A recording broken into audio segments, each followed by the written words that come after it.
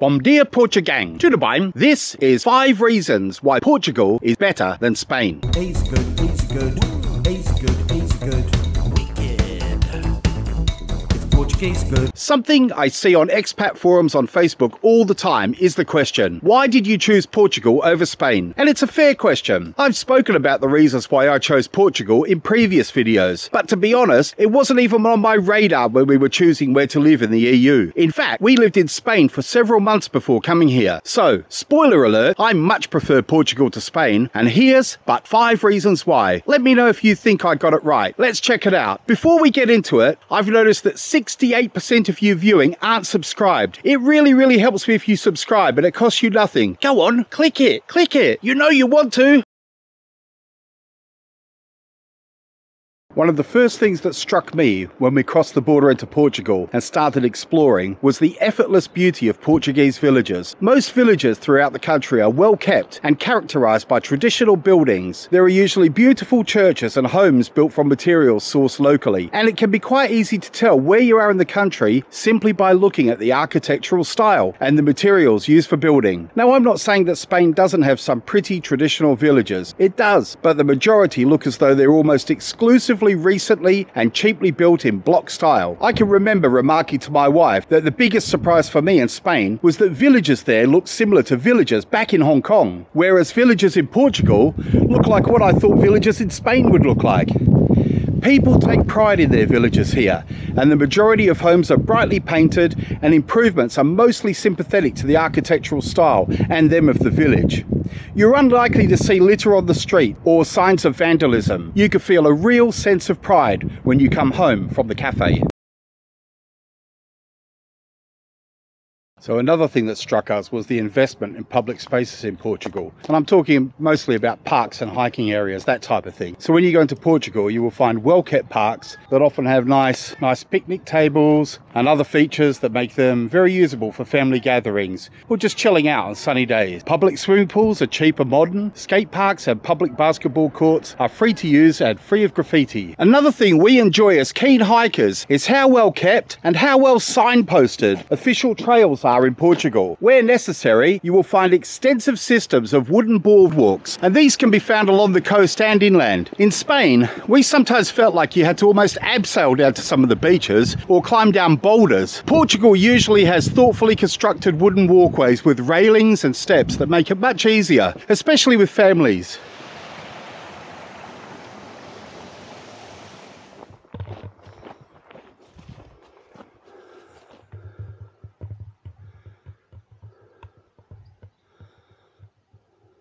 Local authorities deliver sand to river beaches and set up public umbrellas for people to use. Again, the beaches are extremely well kept and the water in the river is usually crystal clear and free of rubbish. While we really have seen a few water snakes in Portuguese rivers, we've never seen any of the um, brown eels that we saw in the Spanish Sea.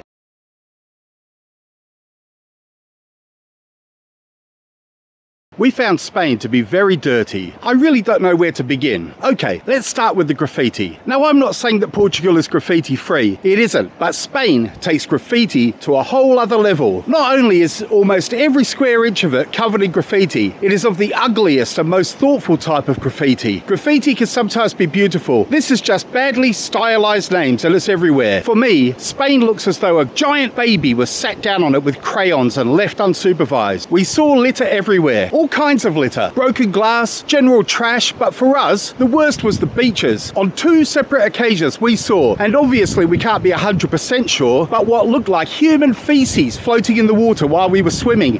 And from what I've heard since, this is a real known problem in Spain, where raw sewage is often pumped out into the sea. There was also often feces on the beaches from dogs, and dog feces are everywhere. People just don't clean up after their dogs. We have dogs and we carry plastic bags to pick up their feces. It's not difficult. It's really not difficult. So there you have it, Spain, where you swim with feces, walk in feces, and every surface is covered in childish scribbles. I'd been to Spain before, and like many Brits, it had been city breaks Barcelona, Seville, Madrid, Benidorm, Valencia. So imagine my shock when we started to explore Spain by car and realised that much of Spain is more or less desert. Sometimes I half expected to see cowboys on horseback. Really, once you get out of the cities, it's like being in the old Wild West. Portugal, for a country with a much smaller landmass, has so much more green space and so much more diversity of landscape, from the rugged cliffs and beautiful beaches of the Algarve to the plains of the Alentejo, the snow-capped peaks of the Serra da Estrela Mountains, the forests of the north, and the Atlantic-battered Silver Coast with its massive surf and compelling seafaring history, the fertile valleys of the Douro, not to mention the Azores and Madeira. There is a lifetime of exploration in one compact package that is Portugal.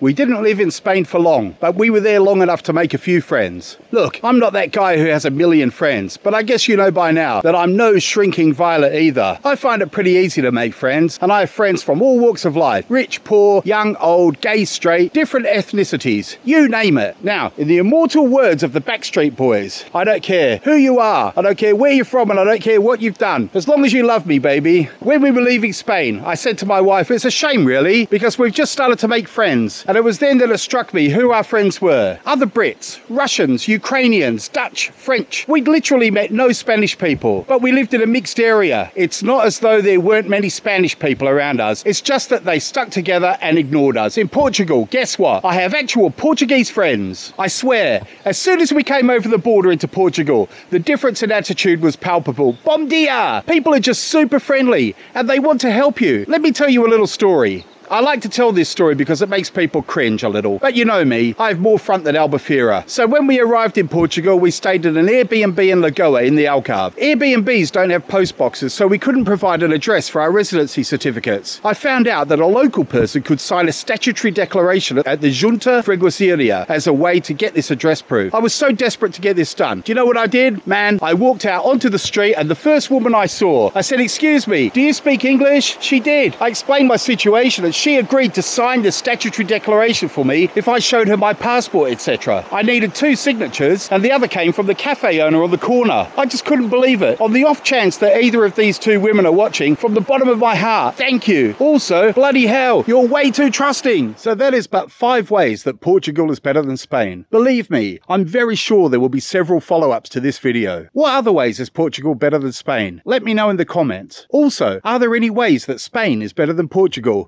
Controversial, I know, but you know me, Portugang. I will go there. I will go there. If you like this type of content and you're new around here, please consider subscribing. It really, really helps me. And if you liked the video, please give it a like. Muito obrigado, amigos. Ciao.